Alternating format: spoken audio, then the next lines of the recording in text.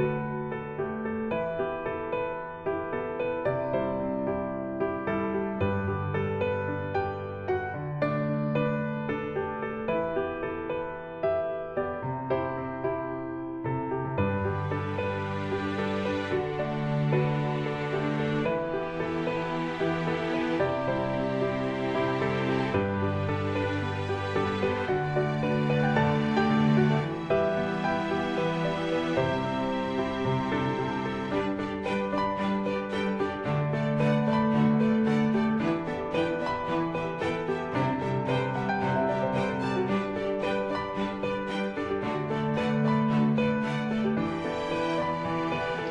Assalamualaikum warahmatullahi wabarakatuh. Selamat datang di channel saya Arlin Yanita. Kita sudah sampai ke Bukit Selfie Ropoh Kecamatan Kepil Wonosobo. Tadi kita udah adventure naik jeep.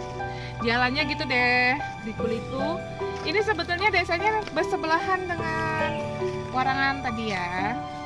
Tadinya di sini udah jadi duluan sebetulnya tempat wisata. Saya pernah ke sini dulu rame. Tapi sekarang Lihat ini sepi, gak ada orang.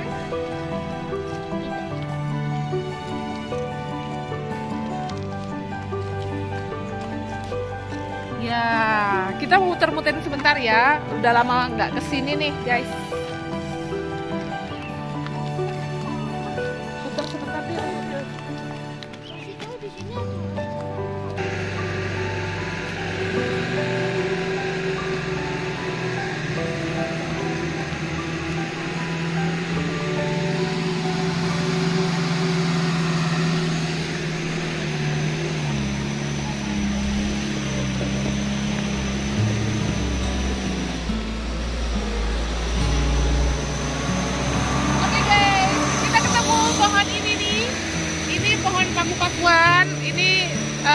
Sejak zaman dinosaurus guys.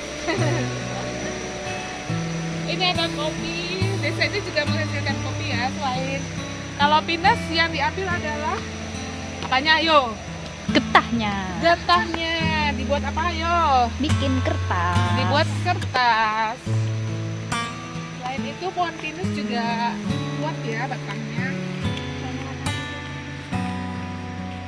Nah ini karena udah agak lama ya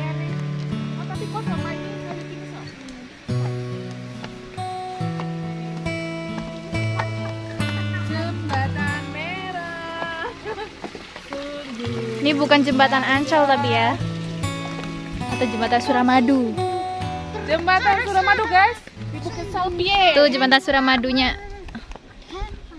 Bukit Salpie. Coba sini.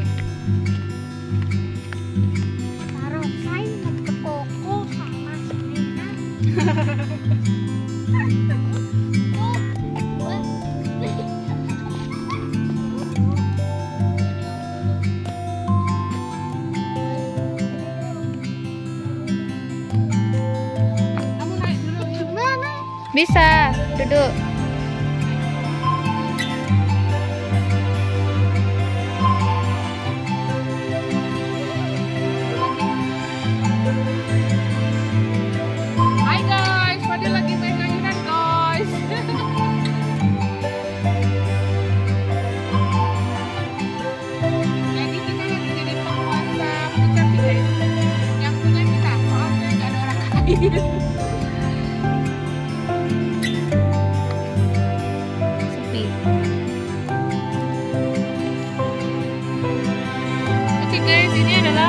pohon pinus ya. Ukurannya udah tua nih. ini udah tua udah dipakai berkali-kali nih kelihatan dari Ya, dia udah pernah diambil ininya, terus dibuat luka baru ya. Getahnya ini diambil tuh berapa hari sih ya? ini bulanan kalau nggak salah deh nggak harian gitu? sih. soalnya kan ini turunnya tetap lama Ih, kayak ini lem yang keras sekali. kasihan ya pohonnya nggak salah Dilukai. iya dilukai oleh Oh, cuma sebulan sekali. Kirain berapa hari sekali gitu kayak pohon karet enggak? ini ngumpulnya tetap lama Ya, makanya jadi yang namanya go green itu eh, beberapa efek adalah dari ini ya, memotong pohon ini ya, memotong. Kalau ininya sih mungkin buat karet yang lain ya. Kalau batangnya diambil eh, ampasnya, jadi kayak diparut gitu. Kalau kelapa diparut diambil ampasnya.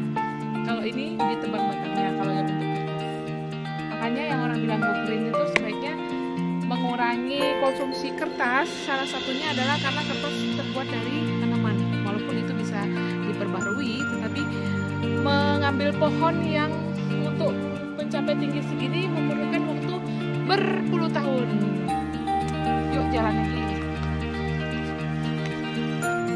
oke guys di sini kan banyak nih apa nih namanya bunga pinus bunga pinus kadang-kadang kita ketemu yang udah udah botol-botol itu udah kayak habis gitu ternyata itu dipakai oleh tupai untuk mengasah giginya Ya, seperti siwak ya kalau cara kita. Kalau kita sikat gigi ya.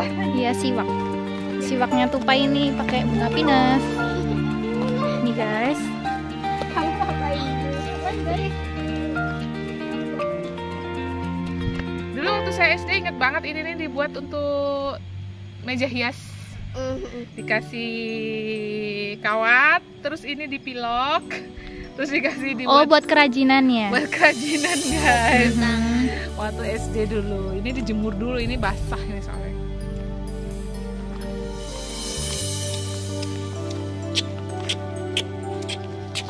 Itu kupu-kupunya merana banget itu guys. Ya udah lambau, kasihan kupu-kupunya.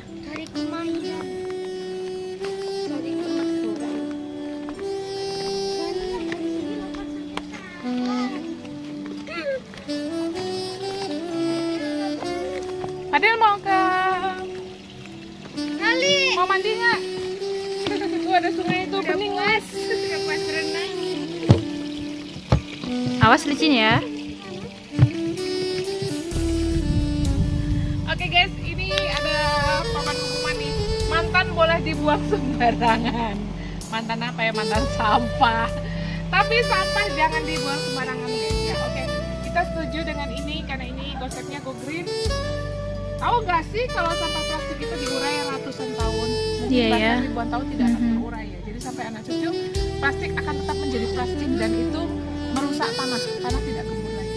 Oke, di mana pun anda berada, jaga kebersihan. Oke.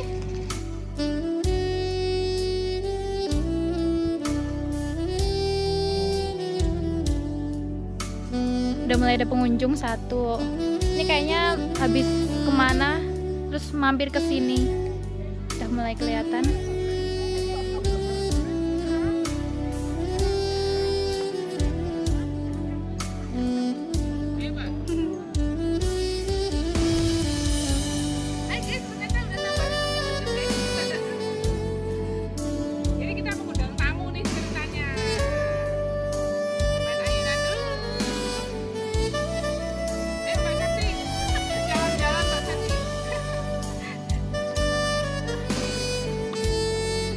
Septi beban. Guys.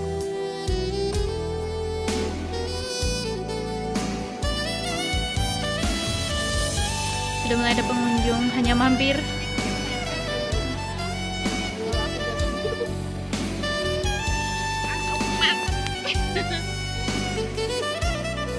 Let's go lanjut, lanjut perjalanan.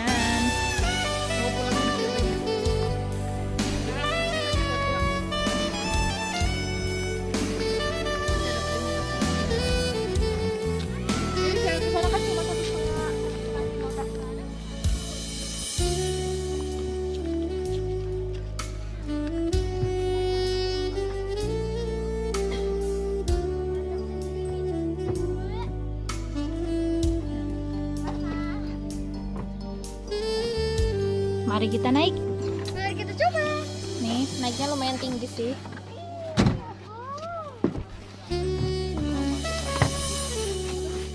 Iya, bismillah. Sana sih. Perut tanah. Iya, trek tanah. Ini nanti jatuh. Ayo. Ada yang keinjek. Sebelahnya ada sungai ya, Mas? Ya.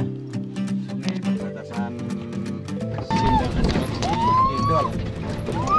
Biasa aja sih, biasa aja. jalannya lumayan.